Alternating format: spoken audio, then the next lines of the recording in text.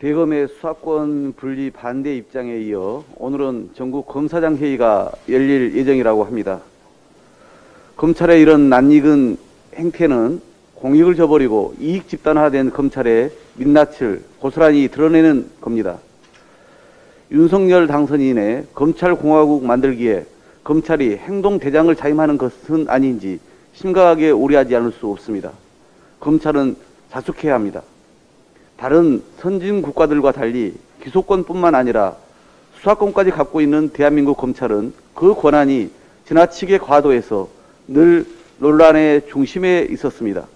집중된 검찰의 권한 분산은 국민의 기본권 향상을 향상을 위한 실의 정치입니다. 검찰은 검, 검찰 개혁의 당사자로서 보다 겸허한 자세로 국민의 뜻을 존중하고 국회에 협력해야 할 것입니다.